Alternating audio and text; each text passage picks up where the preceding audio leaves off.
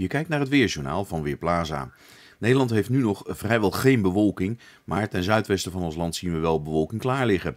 En die trekt onze kant op en dat betekent dat het in de ochtend in het zuidwesten en zuiden al wat meer bewolkt raakt.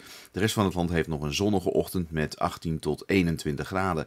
Vanmiddag loopt de temperatuur verder op, dan wordt het 4, eh, 25 graden in het noorden en zo'n 26 lokaal misschien 27 in het zuidoosten van het land. De bewolking breidt zich langzaam verder uit en de tweede helft van de middag maken we al kans op een enkele bui in het zuiden.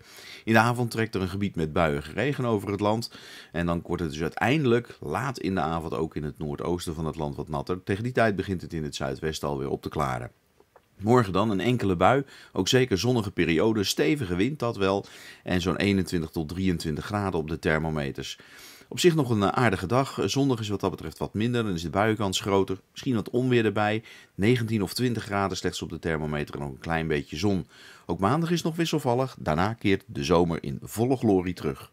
Ik ben Marco Verhoef van Weerplaza.nl